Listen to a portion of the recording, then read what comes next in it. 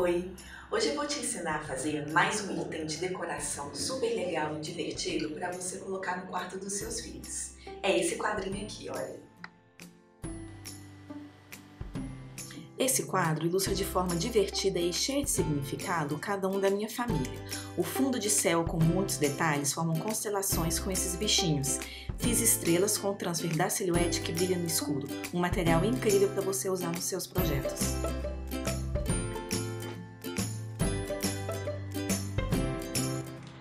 Gostou da ideia? Então vem comigo que eu vou te ensinar o passo a passo.